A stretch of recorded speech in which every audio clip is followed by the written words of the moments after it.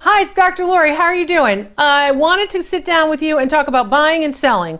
I get questions from all over, all different social media platforms. I get questions from all of you for all different reasons, and I want to answer some of those questions so you can learn how to identify objects, bar- find the bargain, sell smart and make money, all of that stuff. So, here's let's let me give you an example, and I'm going to answer these questions for you. So, should I ask for the old parts when I get a watch clock or something antique fixed or repaired? Yes.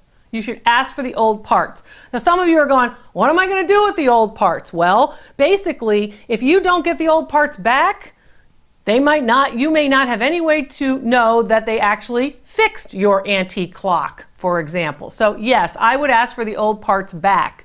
If the clock doesn't work, then there's probably a part missing, right? so I want you to have an understanding that, you know what, when it comes to getting something repaired, ask for the old parts. The other thing that people don't always realize is the old parts are actually valuable, just like the old parts on your car. So they're valuable too. So you could actually even resell just the old parts. Oftentimes people are surprised by that. So you're getting something repaired? Yeah, I want the old parts back. Most people who are legitimate, reputable repair people are happy to give you the old parts. They're doing it right and it'll be fine. So ask for them. Yeah. Okay, what other questions did I get? Um, I bought an old Delft plate in Holland in the early 70s. It fell off the shelf and it's chipped. Well, you all know chips are bad, right? Okay. How do I find someone who can repair it in the United States? Okay, first things first. You can ask your local museum for a recommendation of a repair person or a restorer in your area. That's one of the good things you can do. Museums oftentimes will give that kind of reference.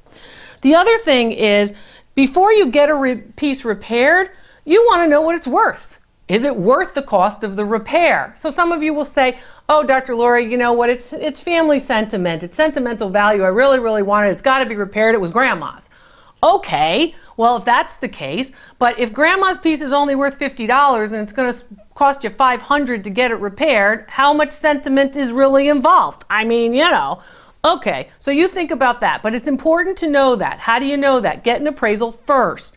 Also, remember, when you're putting something into a repair shop, make sure that that shop is insuring your piece. If you have something very valuable, a valuable antique that's worth a lot of money, who's covering it while it's being repaired? Is that you or is that the repair person? So be aware of that too. Appraisals are inexpensive to get, and appraisals are, of course, necessary before they go off to be restored or repaired.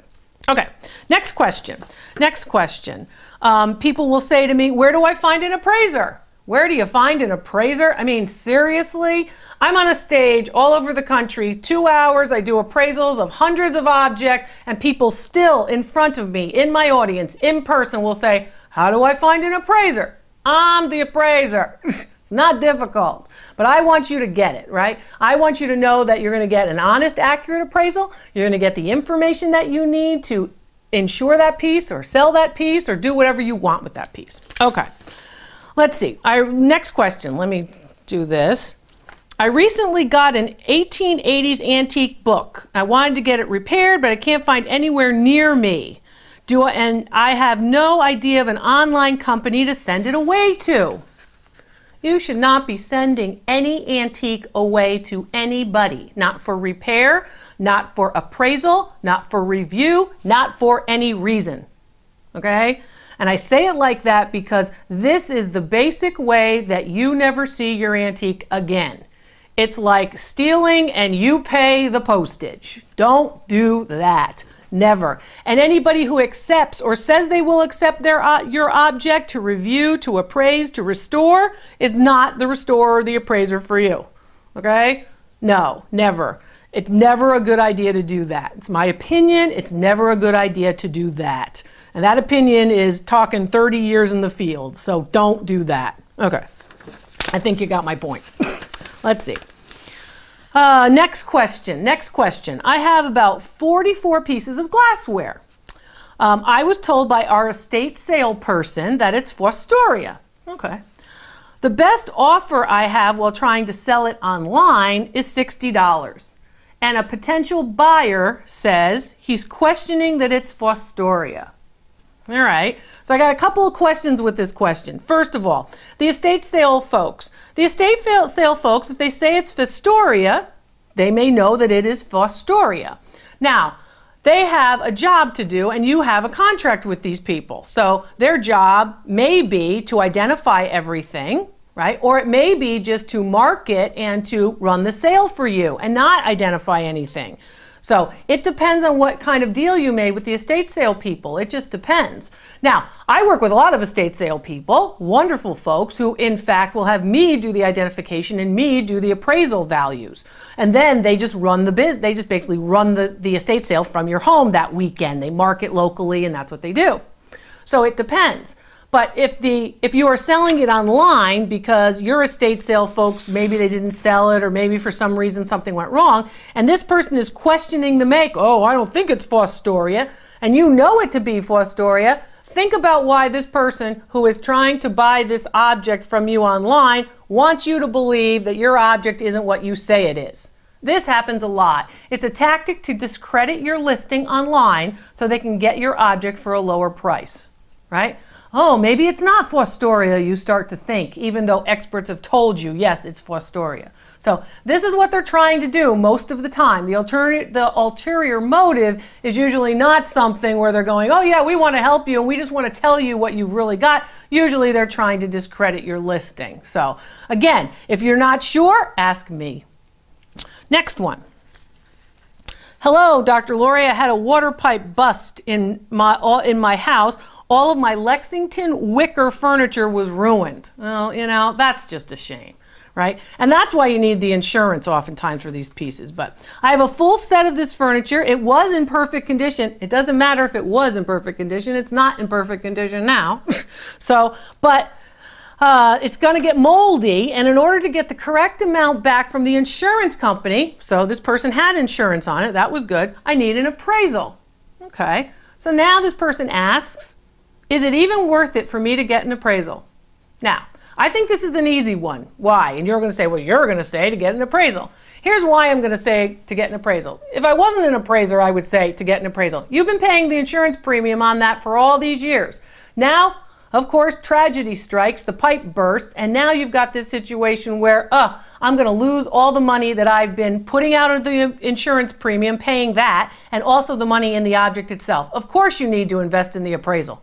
The appraisal, of course, you can get an, an, appraisal for many different amounts, right? But basically, if you get it from me, you're going to see sales records where similar pieces sold. And again, the insurance companies have different standards that have to be met when you are making a claim. So, they, and insurance companies don't just take appraisals from anybody. So you have to, of course, have an expert like me to give you that insurance appraisal. If you've already paid for the insurance, you've already paid for the of course, fixing of the pipe and all the rest of this, and you're owed the value of that ruined set of wicker, well, you know what? I would say it's worth it to invest in the appraisal. Get your money out of what you've already really paid for in insurance. That's what I would do.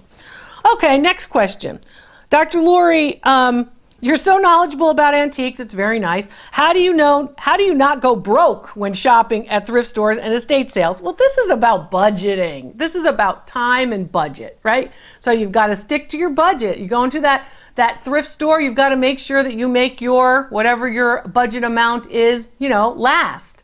And you have to also know how to identify the best pieces in that thrift store so you're not spending too much. So, what you are spending on, you're making, of course, a good deal every time you spend on it. I always say be polite and negotiate. People will say, oh, you know, no one wants to negotiate. People will negotiate typically. Be polite, use cash if you can. And if you can't, you know, of course, you can always Again, group items together. I'm going to buy five items instead of just one item. You should get a little bit something of a discount for something like that. But basically, it's all about budget and it's also about correct identification of the object. Once you learn what to look for in that thrift store, you're not going to buy the very inexpensive or very expensive and high priced stuff that isn't going to either decorate your home the way you want it to look or again flip it for more money. So those pieces that you can pass by and not waste money on the stuff that you can't flip for a good return.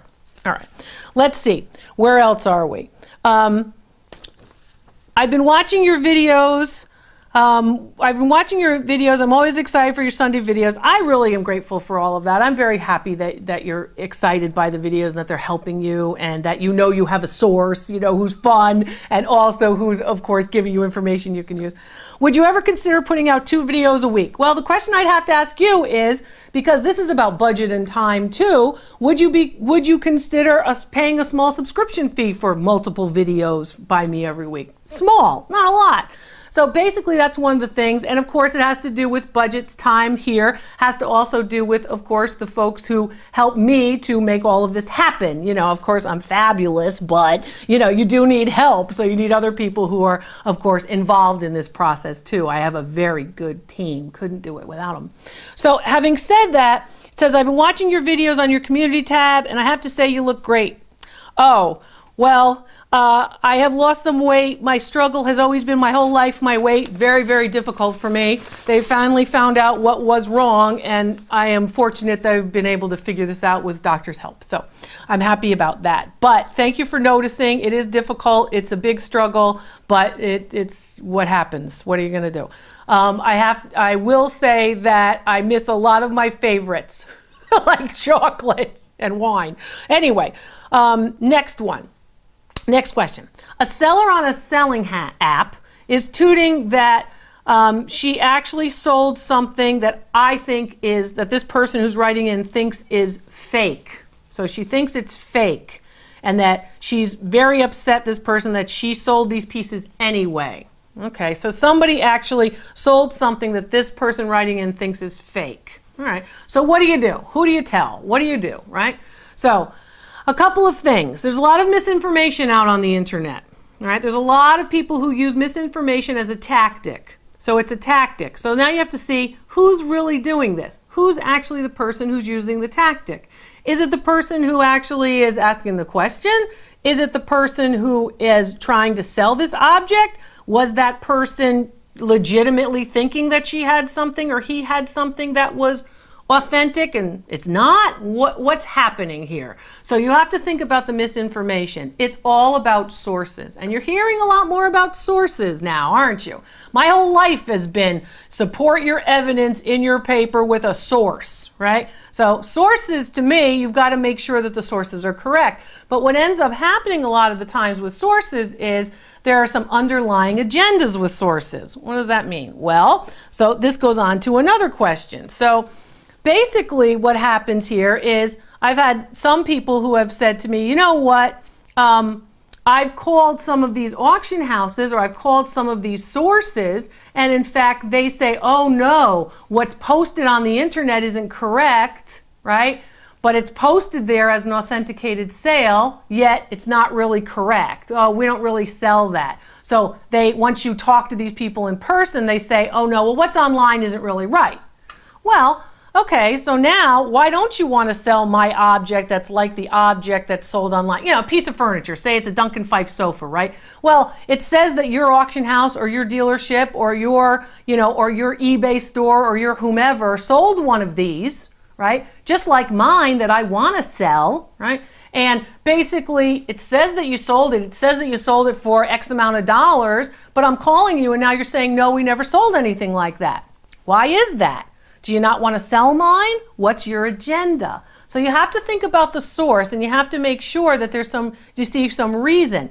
Or is it that, well, we got the one from that we sold online, you know, we really got it for a song and you obviously know how much yours is worth and we don't want to pay you what you want for yours, right? To resell it. So you have to think about what the agenda is with these sources and you have to think about authenticated sales records.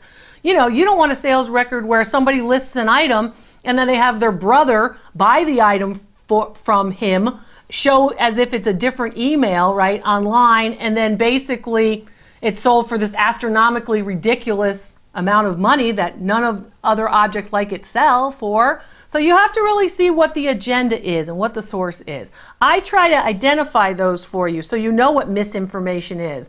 So you understand that. And the best way to understand that is to know what you're selling and to know the market for those items.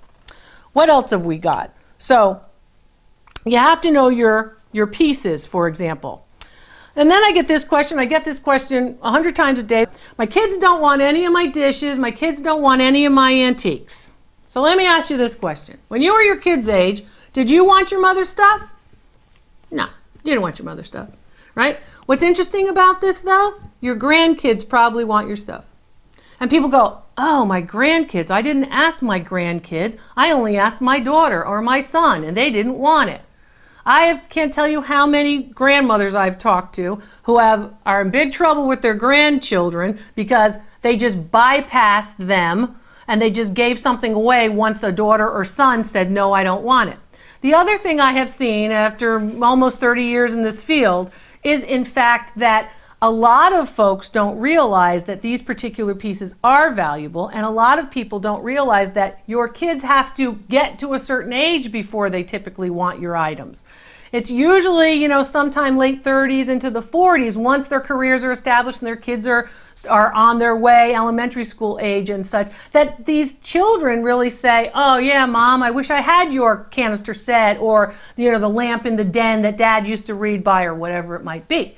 So remember that as well. You know, you have to sort of come of age a lot of the times. But when it comes to nobody wants it, let me tell you something. It's not unusual that at first glance a child will say, No, I don't want something. Also, because many of them are trying to be respectful and not take all your stuff. So you have to think about that as well. Your grandkids, don't forget them because a lot of the times they want them and they're not always asked. Um, I'm Dr. Lori. I hope these buying and selling tips have been helpful to you. Keep watching and thanks for watching.